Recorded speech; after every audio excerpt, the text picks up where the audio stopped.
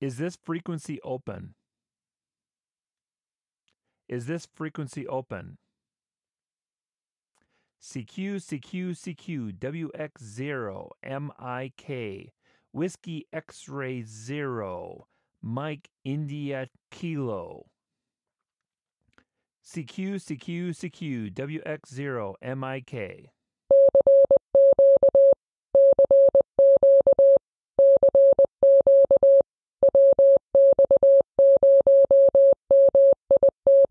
Well, I'm tired, so let's just shoot this sucker from the hip.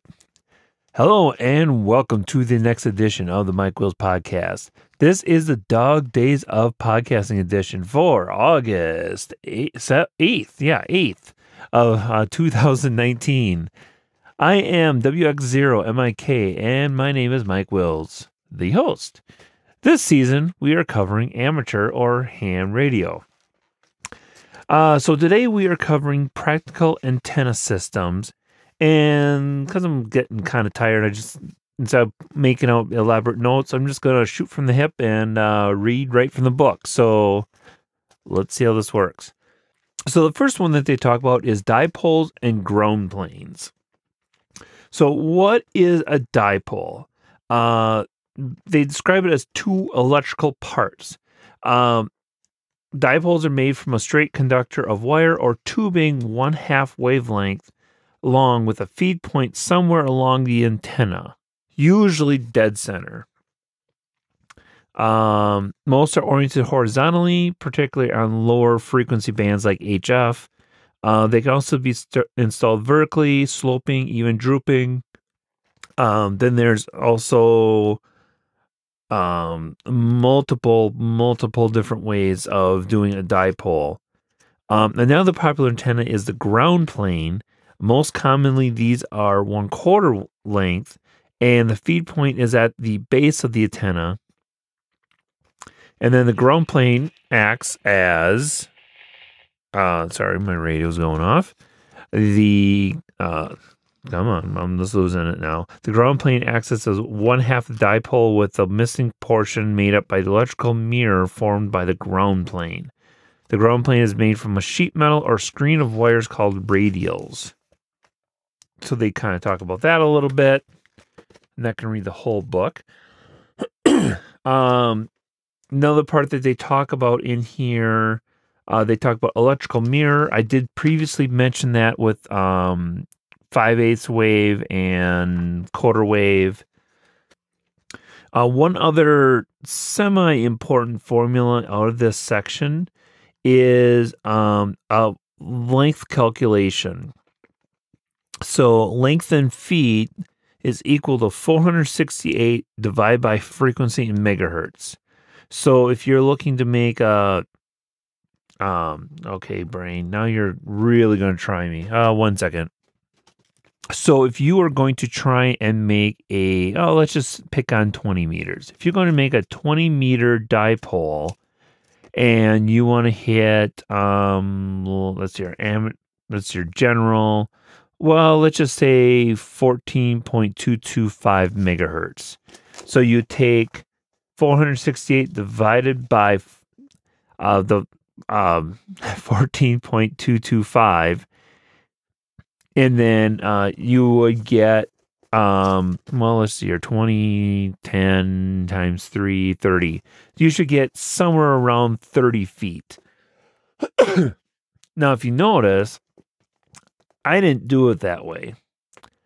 Um in the test for i was like i don't want to risk for getting 468 divided by frequency. I already had 300 divided by uh um, come on, brain, 300 divided by megahertz to convert it into um, the the wavelength. So I just for everything I did, I just t- took 300 divided by the megahertz. You can also use it for the wavelength, and then I took that. So, like I said, 20 meters, half is 10, approximately three feet per a meter 30 feet.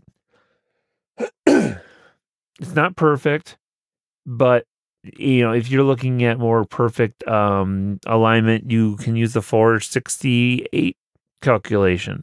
But for the purposes of the test, there are there was not any uh, any numbers that were so close that you would pick the wrong length.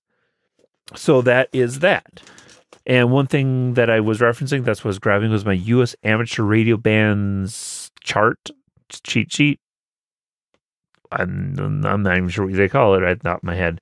But anyway, this is a well published thing uh, that you can reference. In fact, they highly recommend you have handy when you are, especially on HF, so you can see exactly where you're authorized for your bands. So those are dipoles, and dipole is what I'm looking at a dipole type when I build my HF rig. Um, then they also talk about a single element ground plane. I, yeah, that's what they're talking about. Um, so basically, a vertical antenna, and what they're saying is, um, it at that point is basically omnidirectional. Um, so that's another um, item that you can utilize within your repertoire. Um, and that's again, pretty much like a dipole, except you're only building half of it because you just have the point sticking up and then the mirrors off the ground plane. Um, they have some pretty good graphics to make kind of explain it a little bit easier too. So I would just look at the book. And then they also have a section on antennas for handheld radios. And they talk about uh, a rubber duck antenna. Those are usually the ones that that um, come built uh, come with the radio. And then they said, um, you know, if you are having issues or you need something more, then you can get uh, another a different antenna, or you can just use an external mobile antenna in order to use your little handheld. And that's what I plan on building here mm, sometime soon sometime in the, this fall here, i am going to have something up that I can use externally with my little handheld. So then they go into directional antennas. So, um, they don't have a lot of uh, what we talked about before the dipoles, ground planes. They don't have a lot of gain, uh, so you can't reach out and touch someone. Okay. uh, it's harder to make longer distances because they are just there. The signal just radiate, radiates out from all p- points parallel to the antenna, and that's what it does. If you get into directional antennas, they're now focusing that uh, beam in one direction. So, and I've talked about the Yagi a little bit in the past. Um, they talk, so they talk about beam antennas and the kind of the shape that comes out of them. Um, then they talk brief uh yeah so then they start talking about the polarization of some of the bands regarding and how yagis are used within that um they talk about um using a dish which would, is another directional type of antenna you know much like you get for your um DirecTV dish uh satellite tv stuff um only this can also send signal and receive. Then they talk a little bit more about feed line, kind of more the feed loss and or the yeah the feed loss, the impedance, um, how much uh, loss of signal you would get at certain um, frequencies, and so on. Um, they talk about coaxial feed line connectors, they talk about a couple different types of connectors that are commonly used. Um, the ones I have seen mostly is SMA. They call it UHF, but it's actually an SO239, and its pair is a PL259. I don't know why. One is male, one is female. and the male, sort of, depending on your perspective, depends on which way you swing, so to speak. Um, I would look at the SO239 as the male, but a lot of people say the SO239 is the female because the pan goes into the SO239. Look at them, uh, research them. You'll you'll see what I'm talking about. Um, then they talk about if you're working under, over 400 megahertz, then they recommend these type N connectors. Um, they talk about all this. They talk about a lot of this kind of things, and it's um, if all you're planning on doing is a little handheld, probably don't need to know any of this. If you plan on buying a ready-made antenna and a mobile for your vehicle, probably don't need to know much of this. It all comes down to what um what are your what what you're into ultimately.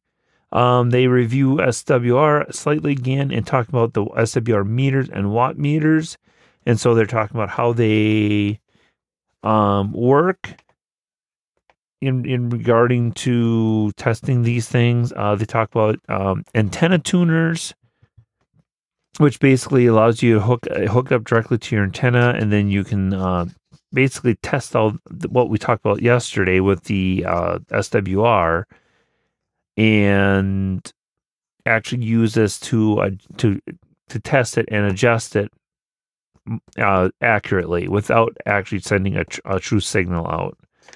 Um, they talk about antenna analyzers, which is um, part of that whole process. That's your antenna analyzer, very low is used to measure the antenna system using a transmitter whose signal might cause interference. Antenna and oh, antenna. Well, anyway, they talk about all of the different antenna tools out there.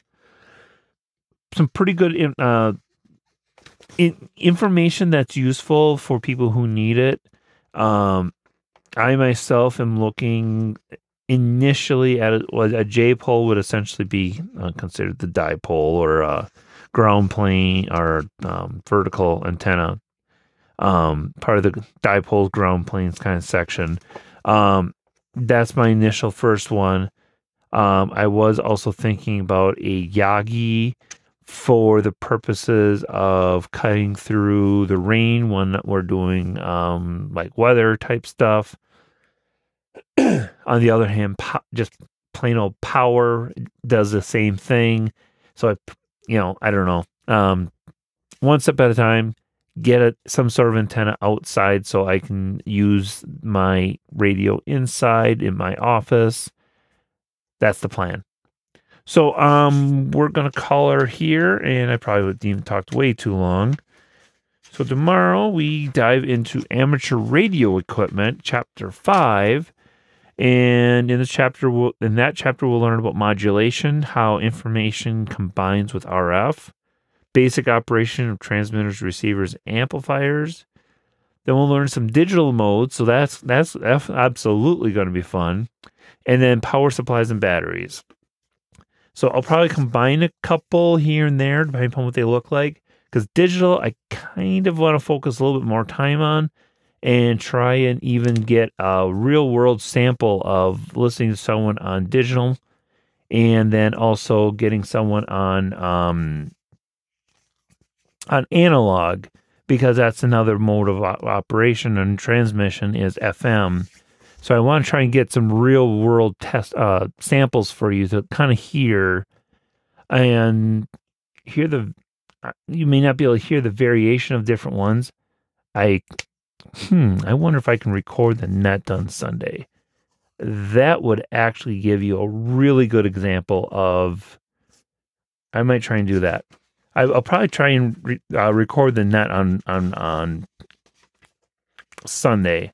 One, we are going to be covering nets in the future. And then two, you can hear the variations in different uh, transmitters. Yeah, I think I'll tr- attempt that. So thank you for listening. And 73 from WX0MIK. That frequency is clear. The frequency is clear. WX0MIK 73.